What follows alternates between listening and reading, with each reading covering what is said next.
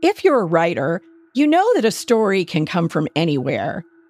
I once wrote about an alcoholic society doyen after having a dream in which I dreamed every detail down to the type of rug in her living room. So, inspiration can strike at any time, but there are moments when you're presented with something more than just the seed of an idea. For many authors, the lives of those around them became critical parts of their books and stories. John Green's The Fault in Our Stars was inspired by a teenage girl he knew who was suffering from thyroid cancer. Emma Donoghue's Room drew from the heartbreaking story of a young woman whose father held her captive for years. And it's well known that The Great Gatsby is a fictionalized account of a real romance between F. Scott Fitzgerald and American socialite Ginevra King and the lavish parties the author attended on Long Island's North Shore. But for as common as it is for writers to write real life into their fiction, it's far less common that they paint real life subjects as somewhat unsavory characters with objectionable motives. Or maybe we just don't know about those stories because the authors have worked hard to keep their inspirations concealed. Kind of like every novel has one of those disclaimers at the front that says any resemblance to characters living or dead is coincidental. After all, if someone found out they'd been depicted in an unflattering way for all the world to see, they might not find it so easy to brush off. Some might even lawyer up which is part of what escalated the feud that would become the case of Larson versus Perry, or as you might know them, Sonia Larson and Dawn Dorland.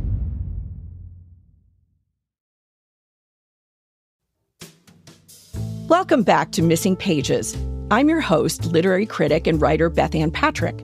This is the podcast where we examine some of the most surprising, industry shaking controversies in the literary world and try to make sense of them.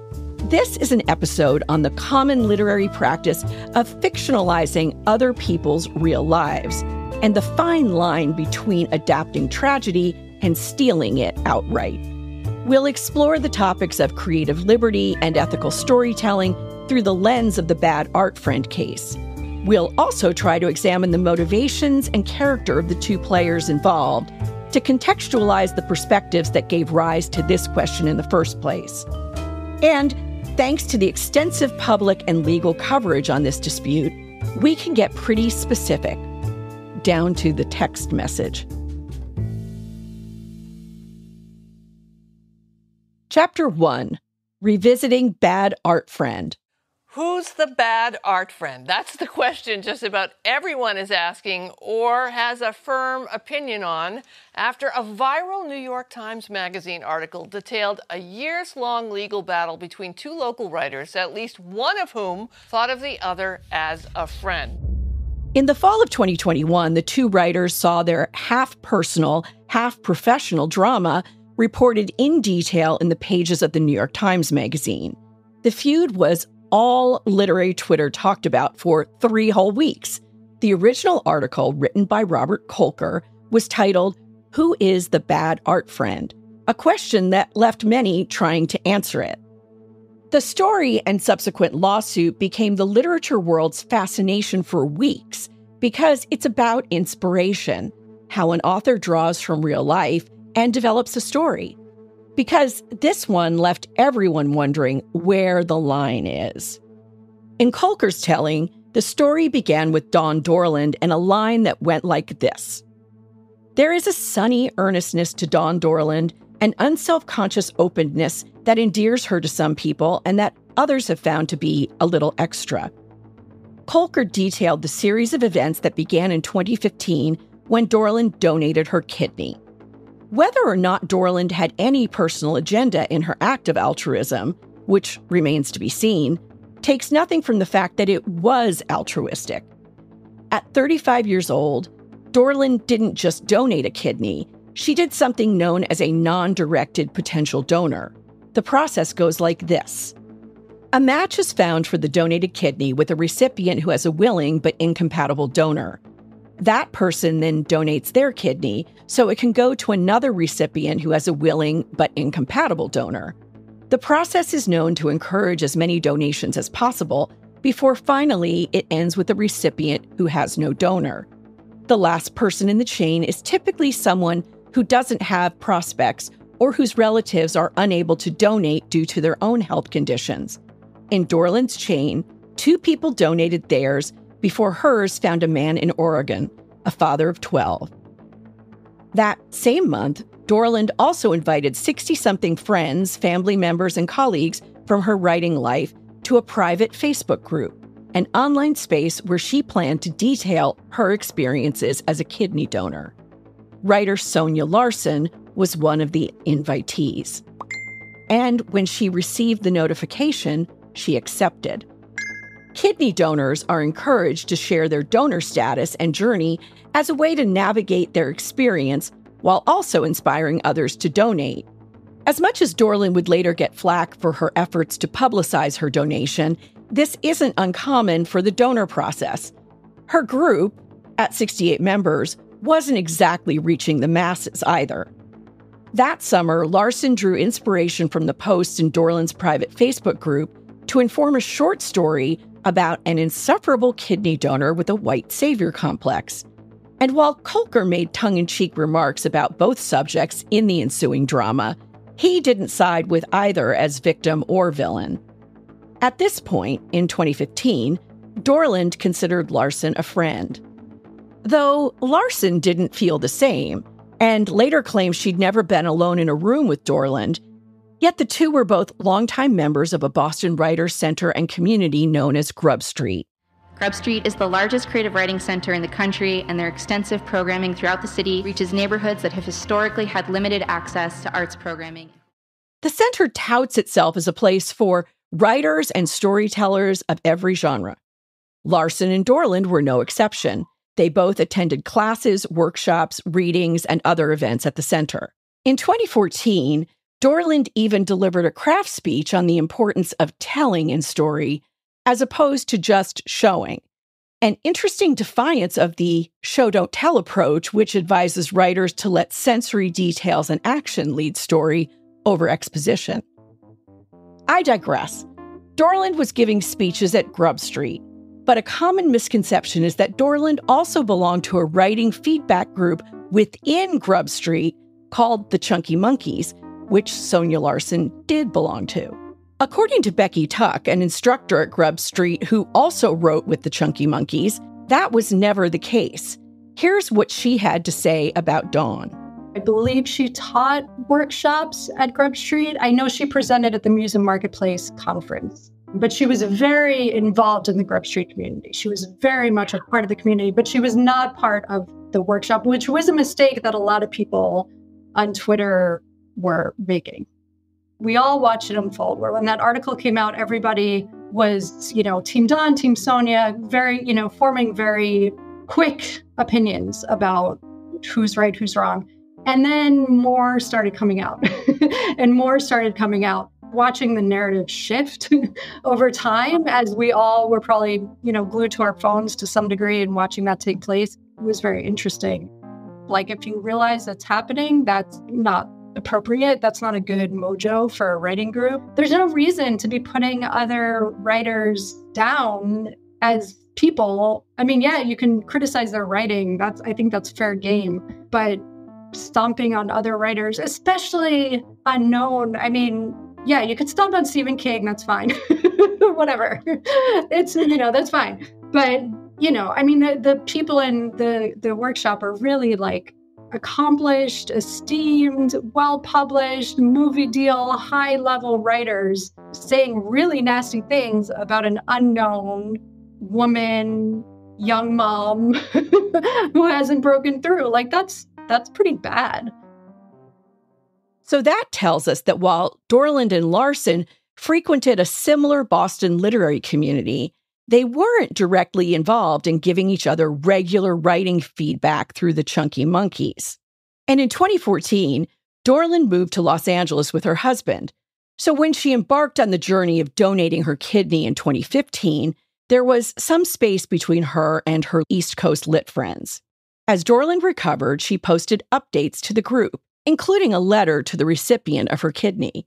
In it, she pointed out that the family trauma of her childhood left her with an empathy for the suffering of others.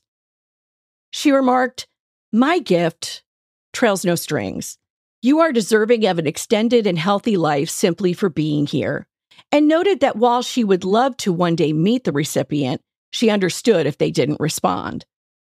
Larson saw this post and didn't give it a like. And Dorland saw that Larson didn't like it. In fact, Dorland noticed Larson would view each post, but never give a like. This seed of conflict may have been a seemingly benign social media oversight on Larson's part. But Dorland was confused why Larson and other Grub Street writers she considered friends weren't acknowledging her journey. At the end of July 2015, in a message exchange between Dorland and Larson, Dorland brought up that she had recently donated her kidney. To this, Larson replied, Ah, yes, I did see on Facebook that you donated your kidney. What a tremendous thing. Around the same time, Larson began writing a short story. It follows a Chinese American woman, Chun Tao, who receives a kidney from a narcissistic white donor named Rose. In efforts to feel appreciation and love from the recipient of her kidney, Rose inserts herself into Chun Tao's life. While it's easy to see how the story amplifies Larson's perception that Dorland was self aggrandizing in her personal shares, it's unclear what Larson's initial intentions for the story were. But in early drafts, Larson had named the kidney donor character Dawn as in Dawn Dorland. And in a letter that the kidney donor writes to the recipient in the story, Larson actually took several lines from Dorland's real life letter to her recipient, verbatim. In October 2015, she shared the story with her Chunky Monkeys writing group at Grub Street with the title, The Kindest. Larson now had intentions to develop the short story professionally and everyone in the Chunky Monkeys group immediately saw Dawn Dorland in the kidney donor character. So there was a conspiratorial aspect to it as well. Their knowing it was Dorland in the story gave them a chance to affirm Larson's perceptions of Dorland. And as Larson workshopped the story, her fellow writers gave her support and encouragement. In late 2015, Larson submitted her polished version of The Kindness to Plympton, a literary studio that sublicensed her book to Audible with an agreement to publish in February 2016. She submitted the story to The New Yorker and The Atlantic. At this point, every single time she sent this story out, she was sending out a version of the story that contained exact sentences from Dorland's letter.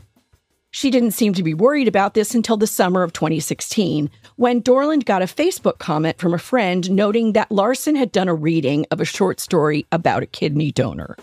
The friend had innocently wondered if Dorland had inspired Larson's character. Intrigued, Dorland reached out to Larson asking to read it. Larson said it wasn't ready yet. Keep in mind, listeners, that at this point, an early draft of Larson's piece had already been published on Audible. The next day, Larson messaged Plympton and asked them to re record the short story due to the fact that her story, quote, included a couple sentences that she'd excerpted from a real life letter, end quote, and was uncomfortable given ethical reasons. The re recorded version was published in October 2016. But by then, things between Dorland and Larson had soured. In a back and forth between the two, Dorland expressed her hurt that Larson hadn't informed her about the story, hadn't considered her feelings, and undermined their friendship. Larson claimed honoring another's artistic freedom is a gesture of friendship. This was a little confusing, given that Larson never really considered Dorland a friend. Now she was asking for Dorland's compassion to let her off for writing something partially inspired by Dorland's own life event, because, according to Larson, that's friendship. The rift between them had officially begun, but as Larson's short story took off, Dorland reasoned that she just wouldn't read it. For a while, that was all there was to it. And it was a long while. In fact, it wasn't until two years later, in June 2018, that Dorland finally read Larson's story. And when she saw a very familiar looking letter from the kidney donor to her recipient in it, Dorland suddenly felt an even bigger kind of betrayal. Evidently, Dorland's bigger concern seemed to be that the story painted kidney donors in a bad light and would dissuade future donors from the cause. In efforts to correct the situation, Dorland hired a lawyer who, in the summer of 2018, sent cease and desist letters to the Boston Book Festival, which had selected Larson's short story as the winner of its One City, One Story program. She also requested that the Boston Book Festival and Larson add an apology in the story's acknowledgments and provide resources promoting kidney donation. This action was all taken based on Dorland's read of Larson's later story draft. In late July 2018, Dorland's fury grew when she discovered Larson's original audiobook was still available on Audible. In it was a recitation of a letter from the story's kidney donor that was even closer to Dorland's. The Boston Globe released an article raising questions about the plagiarism in Larson's letter. If Larson's story couldn't be published before, now it really couldn't be. The Boston Book Festival pulled their One City, One Book program that year to avoid involvement in any future litigation involving the story. Six months later, in January 2019, Larson sued Dorland for defamation and interference with business relationships. It was unclear if she had a case because Dorland's efforts to inform Larson's professional contacts had been based on her honest belief that Larson had stolen from her. Even if the story itself was not about Dorland, Larson created a direct link between them when she inserted bits of Dorland's real life donor letter into her fiction. Larson may not have gone about drawing inspiration in the right way, and people in the media certainly had feelings about it. There were arguments about it on shows like Love It or Leave It. Everybody came off looking really bad in that. See, I don't agree. I don't, I don't agree. I think Dawn came off looking generous but up, and Someone Sonia kind of got out with just a ding, just a real kind of. it was a fender bender for Sonia. It was a car wreck for Dawn. It was the kind of public debate you couldn't avoid if you had any interest in the literary world and access to a smartphone. That's the part of the story most of us know. Although, if you don't, worry not. I'll give you the recap in just a moment. On September 14th, 2023, the U.S. District Court for the District of Massachusetts reached a decision in the case of Larson versus Perry. The court sided with Dawn Dorland in Sonia Larson's suit for defamation and interference with business relationships. And they sided with Sonia Larson in Dawn Dorland's countersuit for copyright infringement. The verdict is the most definitive aspect of this entire story. Coming up after a quick break, we'll meet a writer who borrowed a real life story for their work of fiction.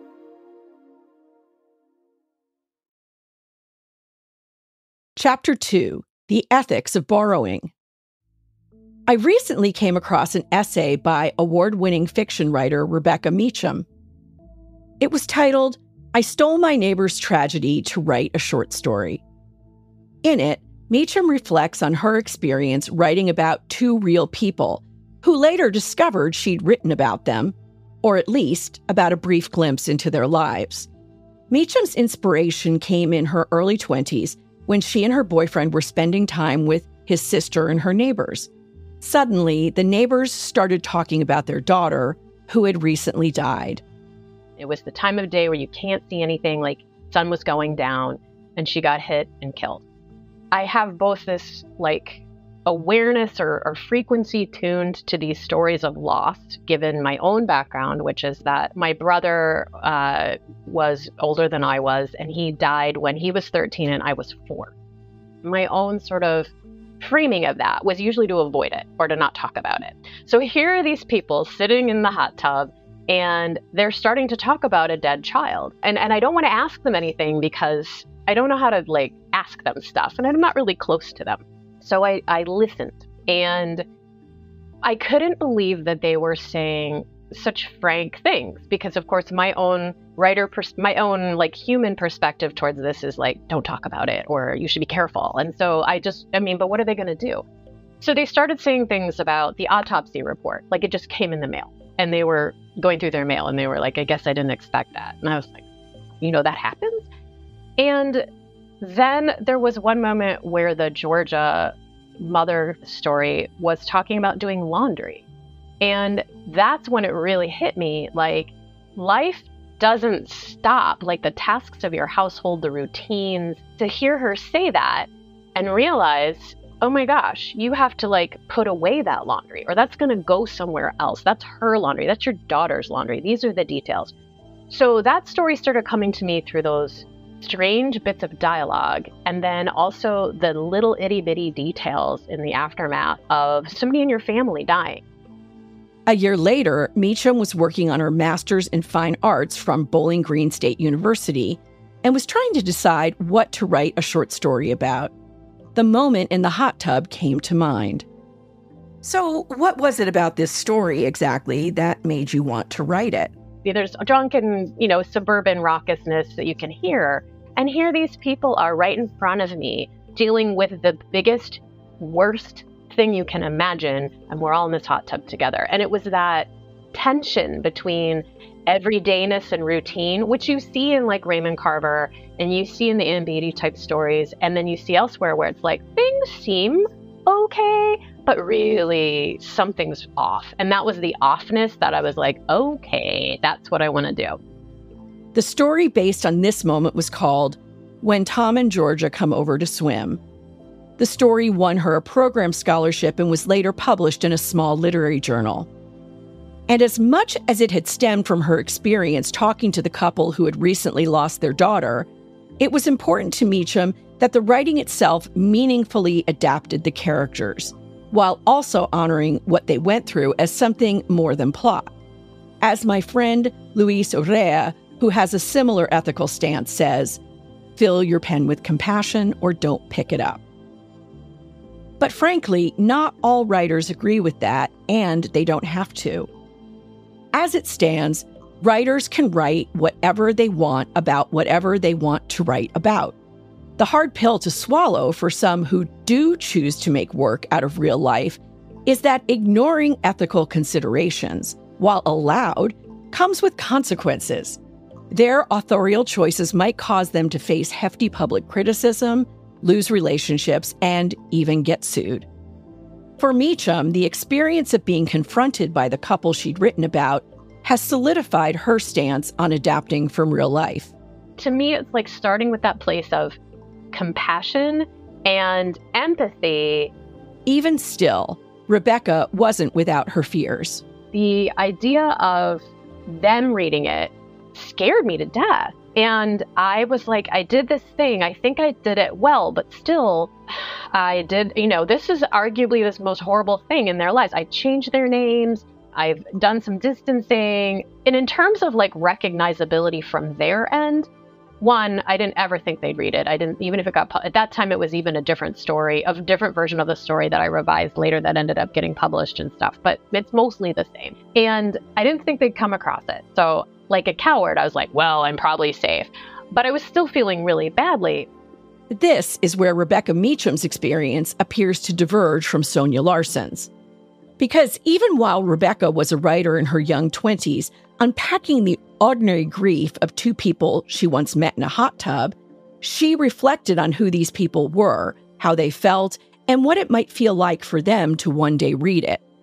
What's evident from the beginnings of Larson's foray into her kidney donor story is that she never really considered how Dorland might receive it. For Meacham, it was a line the aggrieved mother had said about still having to do laundry in the wake of her daughter's passing, and a line about an autopsy report that came in the mail. These disturbing details that so brutally contrasted the everyday suburban life with death lent impact to the piece. But Larson seemed to leave in lines from Dorland's letter because of her perception that they were so self satisfied. They advanced just how annoying the antagonist was. The whole time, she wasn't writing with curiosity about the kidney donor's character or a willingness to see them as a dynamic, albeit flawed human. Rather, the character connected to Dorland was presented as an ignorant pestilence, representing the burden of a white savior complex. And Larson's story thus became a what if Dawn Dorland had been a donor to a person from a different racial background? Had she not wanted to insert Dorland into the narrative, exclusion of direct quotes from Dorland's letter would have been important. The fact that she left them in speaks to a vague intention to mock Dorland, something Meacham, too, sensed in the work. I think Bad Art Friend indicates a cruelty. Like, as I recall about that whole situation, the story like the the person at the center of the whole kidney donation or whatever this all ended up being which and it sounds like a really interesting story i'm not actually to say anything about the craft or like the attraction of the writer to that but it felt like it was very much taking a real thing and all the other stuff that goes with that story specifically with the workshopping and the community and all of these sort of things with that specific person who had that experience then turned into fiction it felt like it was making a mockery of it. Or that writer was like, I'm going to use this to show the shallowness or, or, or, whatever. And let the writer do what they want. But that was a real person story that was pretty public, right? Meacham was getting at something important here. As a coda to her own short story, wherein she adapted the moment in the hot tub with the grieving couple, they wrote back to her acknowledging the piece and sharing their appreciation for the way it recorded their daughter's life and death. So there can be some triumph, after all, for the writer who chooses to adapt from reality, at least for writers who adapt with a level of compassion. Larson didn't fall into that category. And when she lawyered up to countersue Dawn Dorland, her reputation took another blow because all the mean group chats between her and the members of Grub Street's Chunky Monkeys were subpoenaed as evidence for her lawsuit. Unfortunately for Larson, these communications did advance Dorland's defense. Because as much as Larson claimed the story had nothing to do with Dorland and that Dorland was defaming her, that was a lot harder to argue when many of Larson's communications, months before she published, ridiculed Dorland's kidney donation. Did she have the freedom of speech to send those communications? Yes, absolutely. Freedom from consequences? Not so much. Chapter 3 There Are No Winners in War. Though Kolker has stated it wasn't his intention to stir up this side picking debate, what's clear from that outcome is that people find a lot of themselves in the story. Some see Larson as a shameless writer who drew inspiration from something personally experienced by Dorland even if it wasn't off limits. And others see Dorland as someone who received an unnecessary display of hate from writers she thought were her friends.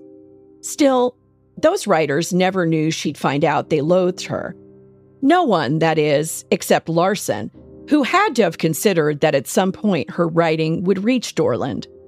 Whether or not Larson considered the emotional impact of her work is an ironic consideration given her antagonistic portrayal of the kidney donor character, whose deepest flaw is her lack of consideration for others. But then, the writing is always a mirror, isn't it? Ultimately, as much as this case has been fuel for discourse, there really is no one answer to the question who is the bad art friend? Because both acted in ways that, while not totally kind, aren't really illegal. I guess the hope would be that writers more deeply considered the emotional consequences of their work on the subjects they portray, and that the subjects being portrayed like themselves enough to let it go if an adaptation of them appears in a story somewhere. Maybe to be good art friends, writers need to take themselves a little less seriously. In the case of Larson v. Perry, there were no winners. Larson lost her suit for wrongful interference because there was no evidence that she suffered an economic loss on behalf of Dorland's messages to the Boston Book Festival, among other collaborators. Larson lost her suit for defamation because Dorland merely provided facts underlying her opinion that Larson had plagiarized. and Dorland lost her suit claiming copyright infringement. The letter included in Larson's short story was revised from the form that drew specific lines from Dorland's original letter.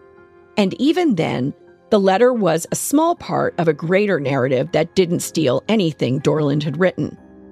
They both incurred losses in legal fees and reputation. In October 2021, following Robert Kolker's New York Times article, Larson was seemingly forced to leave her leadership role at Grub Street. Two other women who were part of Chunky Monkeys and held leadership roles at the institution also left. The organization's artistic director, Christopher Castellani, who at one point messaged the group saying, My mission in life is going to be to exact revenge on this pestilence of a person, referring to Dawn, did not step down. In a letter to Grub Street members, he did acknowledge his emails as being an admittedly hyperbolic, deliberately provocative, and highly performative way of supporting his friend and fellow writer. He apologized for his actions and expressed a hope to regain the trust of his community members. Grub Street as a whole launched an investigation into broad complaints on the mess. It remains to be seen whether they will earn the trust of their community again, but their opening of a new literary center in Boston suggests that they're doing just fine. As for the ethical questions this tale has raised, there's little to be found in the way of an answer personal morals will ultimately determine what a person chooses to write about. And while there may be honor among thieves, that's not always so in the case of writers. Because life often holds the best material. So, listeners, be careful, or you may end up in someone's novel.